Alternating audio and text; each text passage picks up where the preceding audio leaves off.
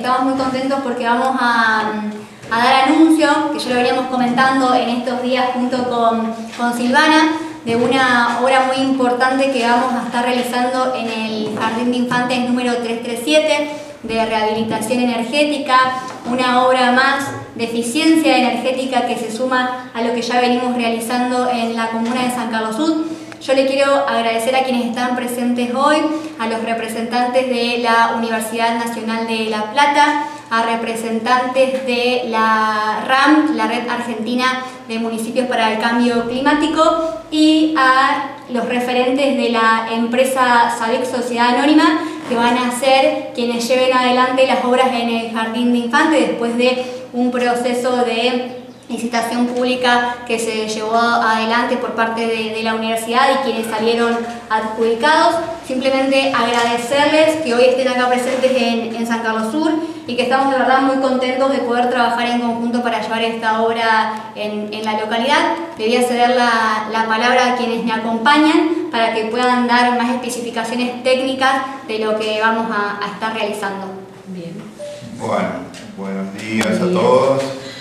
Eh, yo soy Horacio Martino, soy director de Asuntos Municipales de la Universidad Nacional de La Plata y coordino el proyecto que se llama Edificios Municipales Energéticamente Sustentables,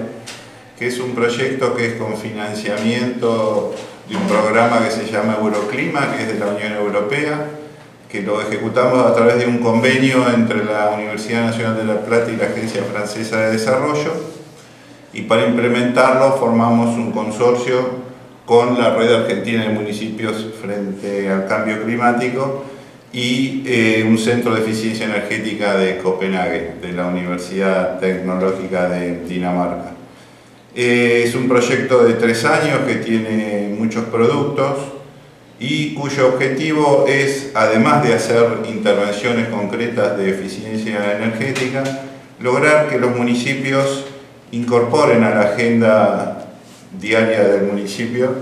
eh, todas las temáticas que tienen que ver con la transición energética y la lucha contra el cambio climático. En ese sentido, valoramos y elegimos eh, la comuna de San Carlos Sur porque es un municipio que ya viene haciendo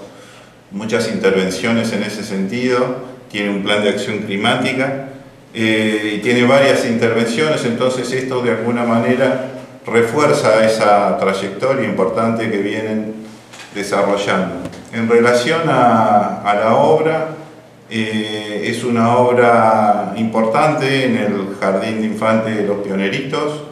que básicamente es la aislación térmica de los muros a través de unos paneles que se conocen como EIF,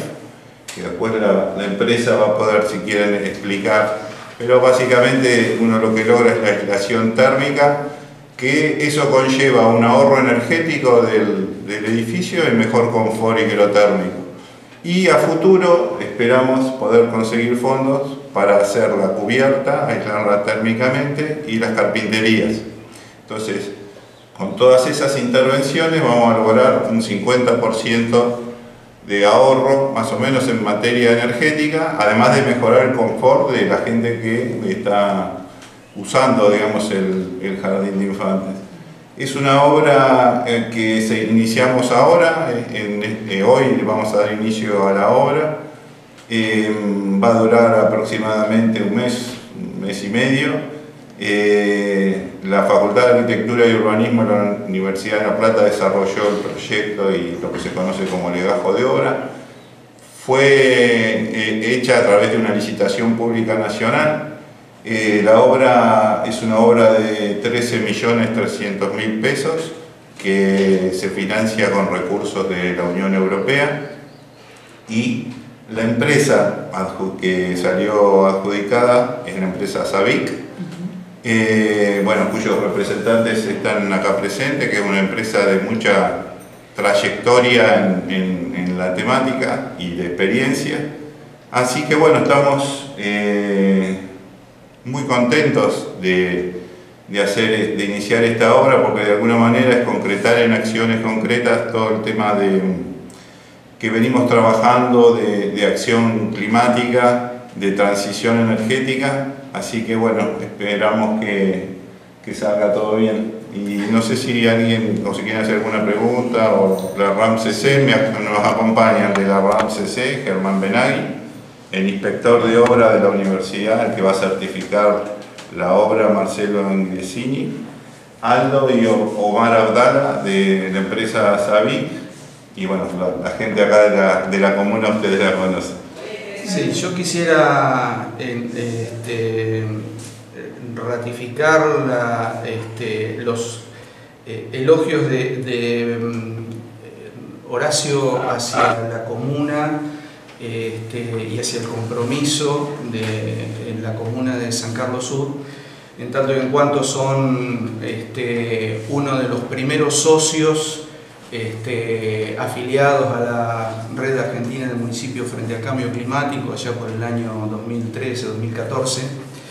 eh, y destacar la importancia, digamos, para que sepan los sancarlinos de la importancia que tiene esto, porque, eh, como bien decía Horacio, la, magnitud que tiene este proyecto, eh, se hicieron este, auditorías y estudios en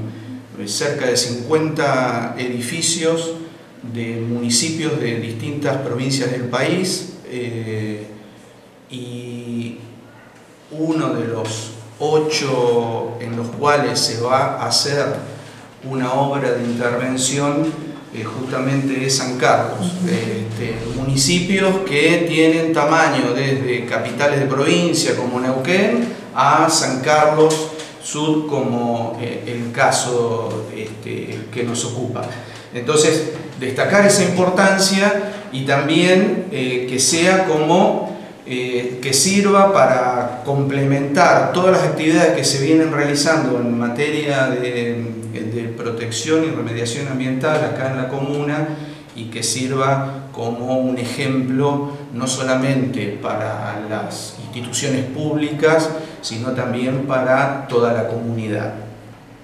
En estos años de trayectoria que tiene la red, ¿cómo ha sido el crecimiento en cantidad de socios y el compromiso? ¿Es lo que ustedes esperaban o, todavía falta compromiso de parte del ámbito público? Mira, eh, en la red hay actualmente asociados mm, cerca de 300 municipios. De hecho, eh, cuando se hizo la asamblea anual en el, mes de febrero, marzo, en San Martín de los Andes, la última asamblea anual, había 280 y tantos y ahí se sumaron este, varios más. Eh, el compromiso, bueno, es en función de también el compromiso que cada municipio tiene con estos temas. Y este, como bien decía antes, los tamaños de los municipios son diversos, con distintas complejidades, distintas realidades regionales, provinciales y este, eso eh, va avanzando también eh, en un contexto de país que cuando estamos mejor avanza más y cuando no estamos tan bien avanza menos. En cuanto a las intervenciones que mencionaban, ¿se puede contar al público en general más o menos cómo, cómo es la obra o qué es lo que se le hace, digamos, al, al edificio? Sí, en principio lo que se trata es tratar de proteger y aislar toda la envolvente de la vivienda o sea, evitar que tanto las paredes externas se calienten y se enfríen y transmitan esa temperatura al interior. ¿De qué manera se logra eso?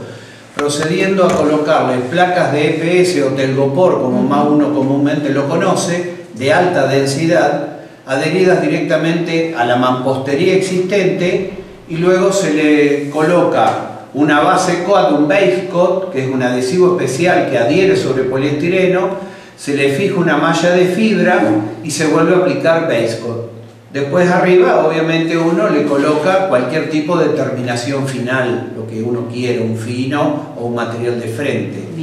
con color o lo que fuere. De esa manera lo que logramos es que todo lo que esté detrás de la placa de telgopor se, mantenga, eh, se mantenga aislado.